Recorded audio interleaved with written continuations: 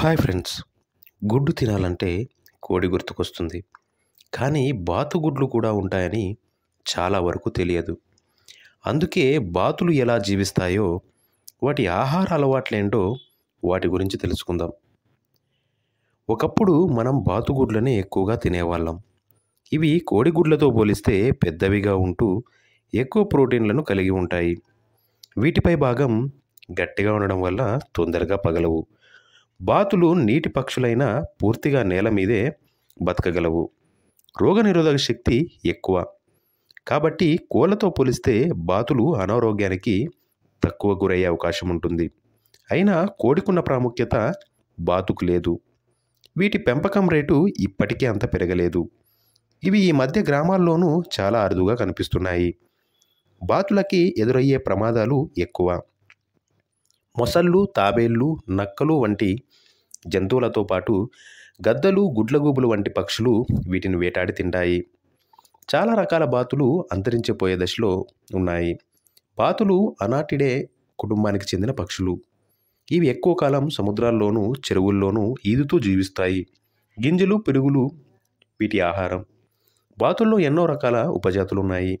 ఎన్నో రంగుల శరీర నిర్మాణాలతో ఉండడంతో వీటిని వేరువేరు పేర్లతో పిలుస్తుంటారు. కొన్ని రకాల బాతులు చేపలను గడ్డిని తింటాయి. డాప్లింగ్ బాతులు నీటి తీరల దగ్గర ఆహారాన్ని సేకరించుకుంటే డైవింగ్ బాతులు మాత్రం నీటి లోపల గాలించి ఆహారాన్ని సంపాదిస్తాయి. ఇళ్ళ దగ్గర పెంచుకునే బాతులు అసలు తమ గుడ్ల మీద శ్రద్ధ చూపవు. అందుకే వాటిని కోళ్ళ గుంపల్లో కానీ ఇక్యుబేటర్ సహాయంతో కానీ పొదిగిస్తారు. భారతదేశంలో గ్రామాల్లో పెంచుకునే బాతులు చరాచంబలి అనే రకానికి చెందినవి. బాతుల్ని గుడ్ల కోసం పెంచుతారు. ఇవి ఏడాదికి రెండు వందల ఎనభై నుంచి మూడు వందల వరకు గుడ్లని పెంచుతాయి. వీటి గుడ్లు పెద్దవిగా ఉండి డెబ్బై ఐదు గ్రాముల వరకు తూగుతాయి. నాలుగైదు నెలల వయసులో నుంచే గుడ్లను పెట్టడం ప్రారంభిస్తాయి. అది ఉదయం ఐదు గంటల నుంచి తొమ్మిది గంటల మధ్యలో వైట్ పెకిన్ రకం బాతులకి మాత్రం మాంసం కోసం పెంచుతారు. ఇవి రెండు నెలల వ్యవధిలో రెండు రెండున్నర కేజీల బరువు పెరుగుతాయి. ఏడాదికి నూట యాభై నుంచి నూట ఎనభై వరకు గుడ్లను పెడతాయి. బాతులు క్యాక్ క్వాక్ అంటాయి. కొన్ని రకాల జాతులు నిశ్శబ్దంగానే ఉంటాయి. కొన్ని బాతులు మాత్రం స- సమాచార మార్పిడి కోసం ఇళ్ళలు వేస్తాయి. కూతులు వేయడం వంటివి చేస్తుంటాయి. కొన్ని జాతుల బాతులు వలసలు వెళ్తుంటాయి. తమిళనాడు కేరళ పశ్చిమ బెంగాల్ మొదలైన రాష్ట్రాల్లో వీటి పెంపకం ఎక్కువ.